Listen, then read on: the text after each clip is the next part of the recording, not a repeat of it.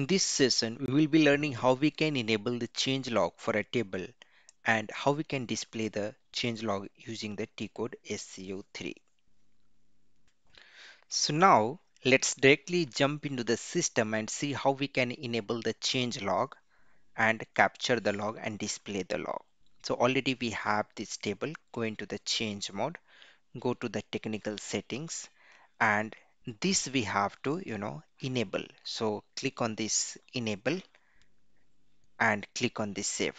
So this checkbox is now enabled. This is the important setting in order to capture the change log. So it's saved now. Just to go back and click on this activate button.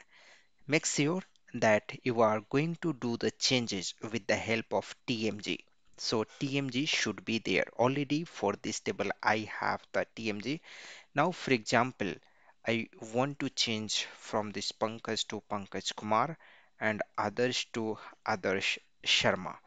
Click on the save button. Now go to the transaction SCO3 and we will analyze the change log. Give the table name, customizing objects, the start date and end date and ALV grid just select and click on this execute.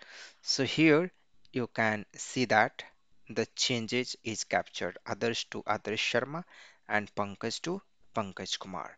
So this is how you can display the change log and enable the change log